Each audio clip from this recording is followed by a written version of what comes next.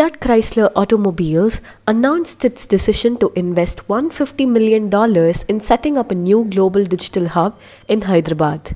FCA ICT India, its new innovation and technology development facility, will be the automotive company's largest digital hub outside of North America and Europe, Middle East, and Africa. The new development facility expects to create nearly 1,000 new cutting edge technology jobs by the end of 2021 and has plans to increase hiring over the next two to three years. We are working closely with strategic technology partners to accelerate our talent and competency ramp up at FCA ICT India. We are also aggressively hiring and the response has been overwhelming. Karim Lalani, Director and Head of FCA ICT India, said. The facility will focus on building competencies in niche technology areas such as connected vehicle programs, artificial intelligence, data accelerators, and cloud technologies, among others. Telangana Industries and IT Minister K.T. Rama Rao said the state government will extend all necessary support.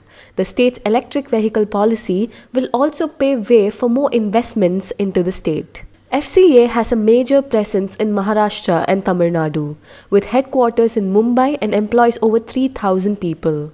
With the Global Digital Hub, FCA will be expanding its presence in Telangana. The company has a joint venture vehicle and powertrain manufacturing facility in Ranjangaon, Maharashtra. The company's engineering and product development operations are located in Pune and Chennai.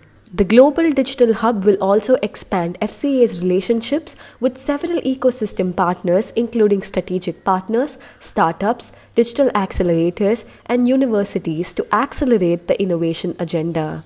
FCA India manufactures Jeep Compass in Ranjangaon and exports to the SUV to 13 international right hand drive markets, including Japan and Australia.